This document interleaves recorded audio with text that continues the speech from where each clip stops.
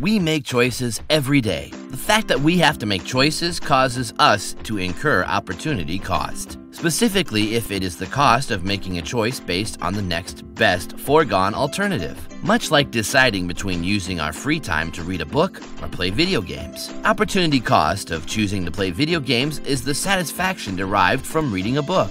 As simple as it seems, there are still problems that come together in calculating these costs, such as the need for time and information. Unforeseen circumstances may also vary the extent of cost involved. Firms, governments, and individuals all experience a differentiated level of opportunity cost. However, what these characters have in union is that they aim to maximize the welfare of certain pools of people.